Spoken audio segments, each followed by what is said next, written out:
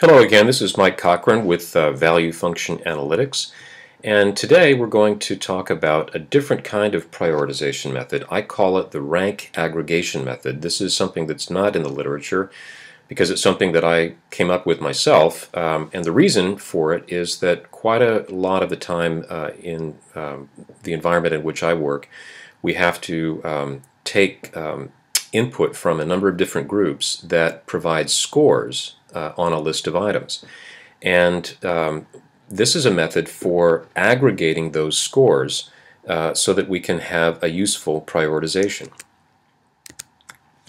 I'm going to switch to um, the um, spreadsheet and I'm going to show you um, the prioritization that uh, was arrived at um, by a group uh, before um, I was brought in to uh, help them with the prioritization.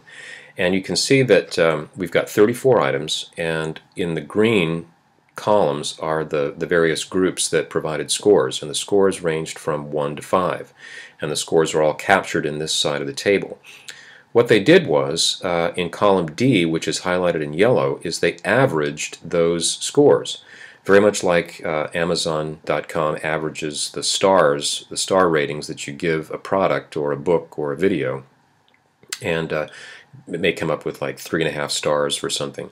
Um, but this actually is uh, doesn't provide a lot of real valuable information because what we're dealing with in these 1 to 5 scores is ordinal rankings, not ratio rankings.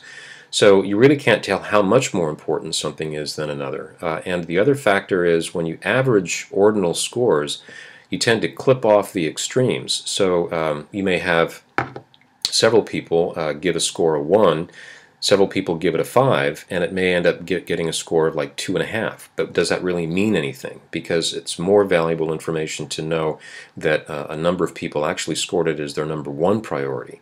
Um, or their number five priority. So the rank aggregation method is a way to use the power of spreadsheets to um, help us do a sort that makes sense based on uh, what seems to be really important to a number of people in, in the group. So what I did was uh, in the second spreadsheet, the one that you're looking at now, uh, I added um, five columns here on the right hand side. Um, a column for each of the scores. So a column for all the ones, a column for all the twos, the threes, and so forth. And um, what, what we do in the rank aggregation method is basically conduct a sort based on the number of scores. So here in column, or rather in this first row, you can see that, um, and I'll take you up here to the menu bar, we use the COUNTIF function, which is found in Excel. And what that does is we um, we're counting um, the number of times that we see a 1 in this row, E3 through Q3, and there happen to be 6. Over here in the 2's, we're counting the number of 2's, and there happen to be 3. And over here in column 3, there happen to be 1, 3, 1, 4, and 2 5's. So the way that we do this is we can go up onto the menu bar and go to data then sort and you can see that I've already um, I've selected the entire list to sort and said this is the order that I want to sort. I want to sort first on column 1 so I'm interested to, to sort first on, on uh, those items that received a score of 1 and uh, based on the number of times they got that score. Then once that's done it sorts on column 2 to uh, capture all the, the, the, the, number of twos, and then so forth then to the threes, the fours, and the fives. So what that does is take a look at this column, column R. You can see that um, uh, there were six uh, ones for the first item, three ones for the second, and three ones for the third. And over here in the twos, um, it got three twos, and then one two. So you can see it's sorting first on the ones and then on the twos. So the moment that, that drops down to two ones for um, this fourth item in the list, um, then it's sorted on the number of twos, which were five, and then and then uh, all the way down. So you can see that uh, this is giving greater weight to uh, those items that received a high number of ones and then a high number of twos. And then by the time it gets down to the fives, it probably really doesn't make a whole lot of difference. But uh, it's really trying to focus on what got the most priority. So you may be asking yourself, well, um, what, what's the difference in the sort between the original prioritization, which was based on averages, and the rank aggregation sort? Well, we've done a comparison. In this table, you can see on the left-hand side, here's the original sort, and we've got an index number associated with the original sort. So when we do um, plug in the resorting, the index numbers are all uh, jumbled around. But that what that does is it helps us compute the position change. So notice that the very first item was clearly the prioritization uh, number one for both methods because the, the position didn't change at all.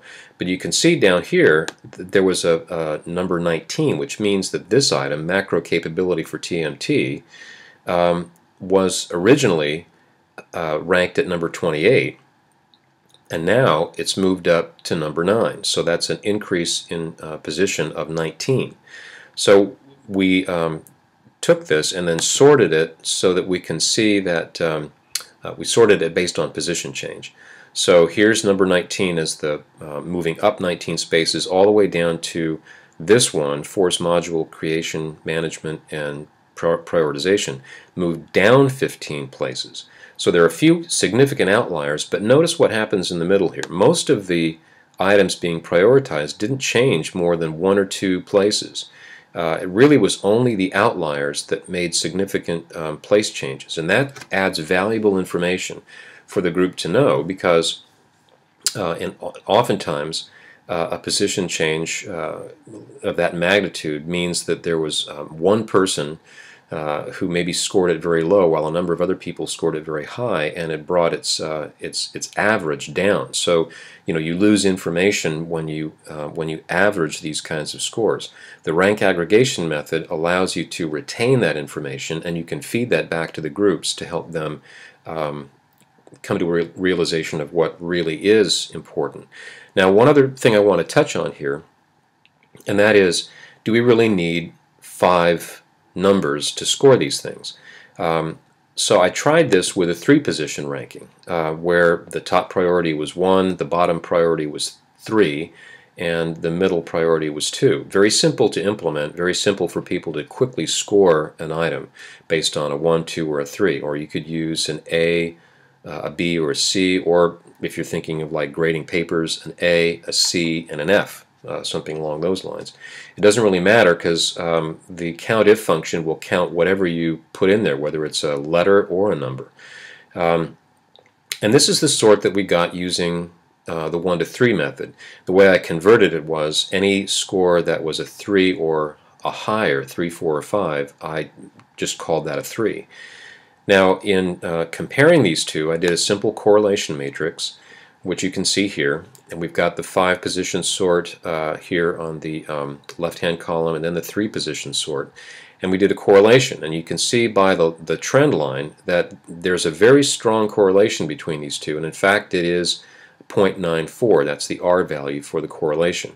So this tells me that um, you can get a very useful sort out of the rank aggregation method with only three scores rather than having to resort to five. So this makes it very easy to implement and very easy for people to, uh, to understand. So um, the rank aggregation method um, is, we already did the Excel demo. Um, next time we'll talk about some hybrid methods that might use a combination of things like uh, rank aggregation and the more traditional uh, prioritization methods that we've talked about up to this point. But if you have any questions about rank aggregation or prioritization in general, uh, please feel free to email me at valuefunction at gmail.com.